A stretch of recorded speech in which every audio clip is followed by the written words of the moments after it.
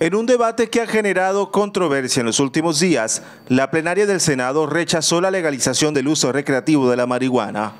Aunque el proyecto de ley contaba con un respaldo considerable, no logró reunir los votos necesarios para su aprobación. A pesar de obtener 47 votos favorables y 43 en contra, el proyecto que buscaba modificar la Constitución para permitir el uso recreativo del cannabis no alcanzó los 54 votos requeridos, que representan la mitad más uno de los respaldos en el Senado.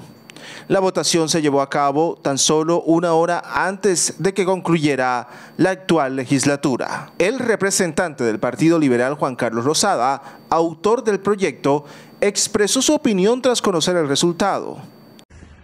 Bueno, con 47 votos a favor versus 43 votos en contra, es decir, teniendo la mayoría, pero no logrando los 54 votos que se requerían por ser un acto legislativo en segunda vuelta, se acaba de hundir nuestro proyecto de regulación del cannabis de uso adulto.